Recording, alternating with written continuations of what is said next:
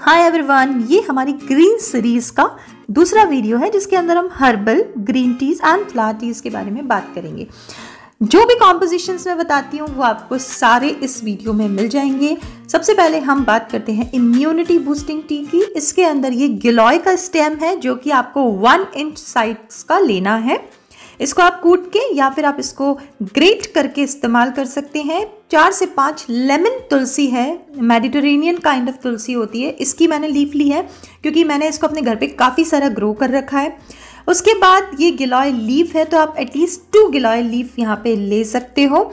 और फिर most importantly हमें हल्दी का इस्तेमाल करना है, जिसकी एंटीऑक्सीडेंट पावर सबसे ज़्यादा होती है एंटी इन्फ्लेमेटरी इसका एक्शन होता है। अगर आपको लगता है मॉर्निंग में आपका थोड़ा सा सूजन बनी रहती है तो आप इसका इस्तेमाल कर सकते हो। इस तरीके से देखिए इन सब चीज़ों को, हल्दी का जो पीस है, अराउंड टू इंच का पीस हमें लेना है। देखिए जब मैं इसको ग्रेट कर रही हूँ तो इवन मेरा हाथ भी स्टेन हो रहा है, because this is pure haldi from my home garden. तो इन सब चीज़ों को डाल के आपको पाँच से सात मिनट तक बहुत अच्छी तरीके से उबाल के इस पानी का आप इंटेक कर सकते हो। बहुत ही हेल्दी है ये। बट एक चीज़ का हमेशा ध्यान रखें, इस तरीके की टीज़ का इस्तेमाल करते हुए आपको इसको बार बार बहुत ज़्यादा इसका इस्तेमाल नहीं करना है बिकॉज़ ये एक तरीके से मेडिसिनल वैल्यू इनकी होती है और अगर आप इसका ज़्यादा इस्तेमाल करेंगे तो इसके साइड इफ़ेक्ट भी हो सकते हैं।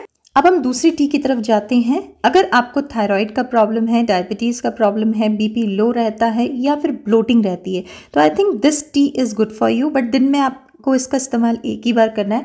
आप यहाँ पे देख सकते हैं कि मैंने यहाँ पे धनिया लिया है अराउंड फिफ्टीन ग्राम्स करक्यूमिन हल्दी ली है अराउंड टू ग्राम्स दालचीनी ली है, दो ग्राम एंड अगेन पंद्रह ग्राम मैंने यहाँ पे जीरा लिया है। अगर हम बात करते हैं डायबिटीज़ की तो इसके अंदर दालचीनी और हल्दी आपकी इंसुलिन सेंसिटिविटी को बढ़ाता है। धनिया आपकी थायराइड हेल्थ के लिए बहुत अच्छा रहता है। थायराइड हेल्थ आपके मेटाबॉलिज्म के लिए बहुत इंपॉर्टेंट है। तो इन सात चारों चीज़ों को आप अलग कर दें। साथ में ये तीन लीव्स का इस्तेमाल आपको करना है। नंबर वन पे है हमारी करी लीव्स आपकी स्टमक हेल्थ के लिए अच्छी रहती है। देन ये हरसिंगार की लीफ है।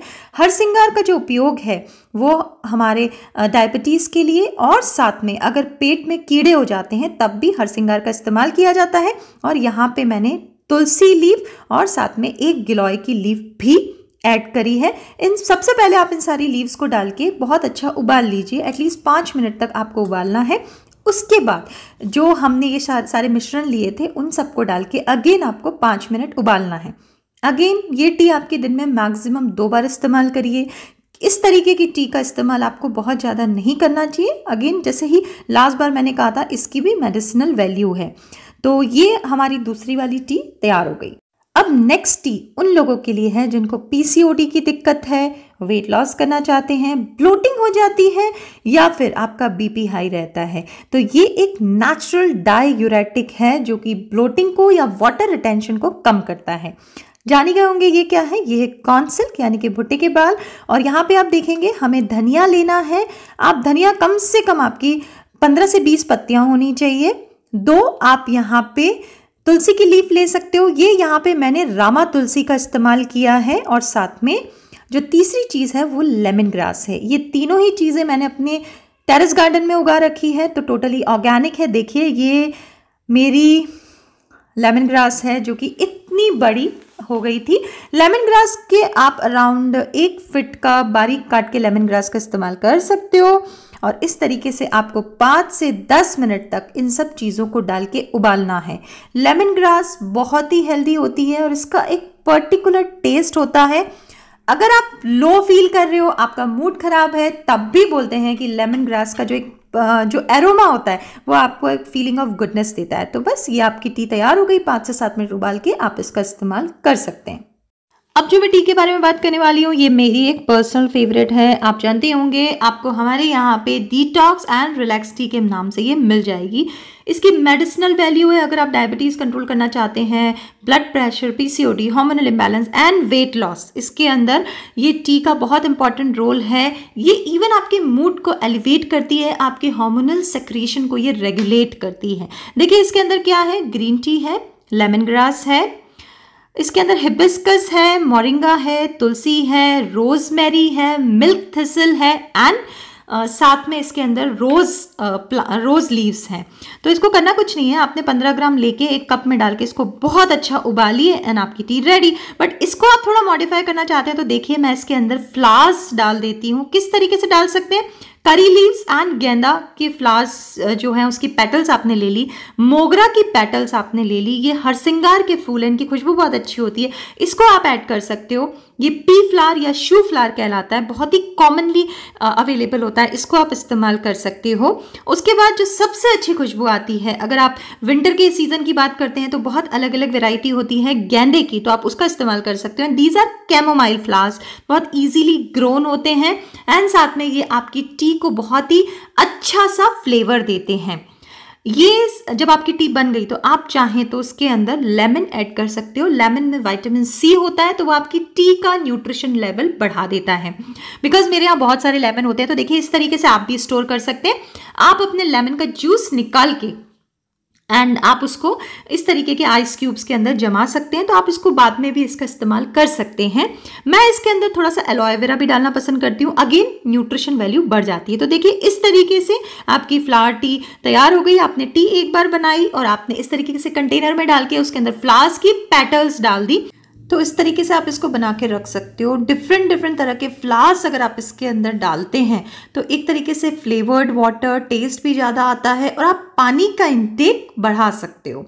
तो ये मेरा अपना तरीका है, आप इसको अपने हिसाब से मॉडिफाई कर सकते हैं। तो चलिए अब चलते हैं एक सिंपलेस्ट हर्बल टी की तरफ़। अगर आपको स्टमक का प्रॉब्लम रहता है थायराइड है, या फिर अगर आपने जनरली मेरी डाइट में देखा होगा, मैं हर हर हाफ़ एन आवर पे एक डिफरेंट हर्बल वाटर प्रेफर करती हूँ। अगर आप उस तरीके से नहीं कर पा रहे हैं तो I think this herbal mix आपकी सारी प्रॉब्लम को सॉल्व कर देगा। तो इसके अंदर आपको धनिया लेना है, जीरा लेना है, अजवाइन लेना है, सौंफ लेना है। अभी आप यहाँ पे देंगे, देखेंगे कि मैंने यहाँ पे जीरा, अजवाइन और धनिए को बराबर क्वांटिटी में लेके इसको मैंने पीस के, बारीक पीस के अलग रख दिया है और मैंने सौंफ अलग से पीसी है। अगर ठंड में आप सौंफ का इंटेक नहीं करना चाहते हैं तो आप भले ही ना करें।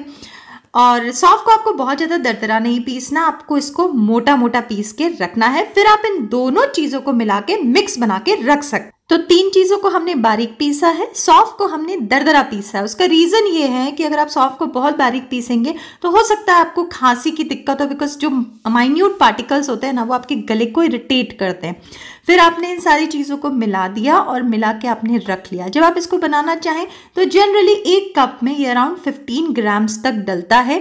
बहुत अच्छा आप इसको उबालें। अगर आपको इसका टेस्ट पसंद नहीं आता है तो आप इसको डाइल्यूट करके, यानी कि अगर आपने 200 हंड्रेड में 15 ग्राम डाल के आपने इसका टी बनाया है, और अगर आपको ये बहुत ज़्यादा पंजेंट लगता है तो आप अराउंड इसको वन लीटर वाटर बना के like eight hundred M water और मिला लीजिए 200 सौ में, और आप इसको एक लीटर पानी बना के आप इसको मॉर्निंग में पी सकते हो। अगर आपको थायराइड है तो आप इस तरीके से इसका कॉम्पोजिशन चेंज कर सकते हैं। आप यहाँ पे धनिया की मात्रा बढ़ा सकते हैं। अगर आपको पीरियड्स का प्रॉब्लम रहता है तो फिर आप यहाँ पे अजवाइन की मात्रा बढ़ा सकते हो। अगर आपको स्टमक डिस्टर्बेंसेस रहते हैं तो हम यहाँ पे जीरे का इंटेक बढ़ा सकते हैं। तो ये चा, चारों ही चीज़ें हर्बल इनका फ़ायदा होता है। जैसे सौफ है वो आपकी स्किन की हेल्थ के लिए बहुत अच्छा है। एंड ये पूरा कॉम्पोजिशन आपकी शुगर को मैनेज करने में पीसीओडी के लिए एंड आपके बीपी को मैनेज करने के लिए बहुत अच्छा रोल प्ले करता है। तो ये हमारी सारी टी है जो कि मैंने यहाँ पे डिस्कस करी। एक बहुत ही इंपॉर्टेंट टी है मोरिंगा तुलसी टी जो आपने देखा होगा मेरी डाइट में ज़रूर होती है। अगर आपको हार्मोनल इम्बैलेंस है वीकनेस बनी रहती है स्पेशली वेमेन के केस में अगर आपको मूड स्विंग्स रहते हैं, या मीनोपॉजल स्टेज में आपके हॉट फ्लैशेज होते हैं, हाथ पैर में बहुत ज़्यादा दर्द होता है नी पेन होता है तो I think this tea is for you इसके अंदर आपको मोरिंगा एंड तुलसी लेनी है। फिफ्टी फिफ्टी परसेंट की क्वान्टिटी में, यानी वन टू वन का रेशियो होना चाहिए।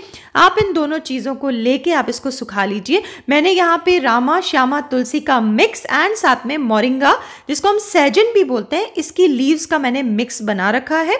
एंड फिर इसको जब भी आपको, या तो आप इस तरीके से सुखा लीजिए, या फिर आप इसको पाउडर फॉर्म में भी रख सकते हो।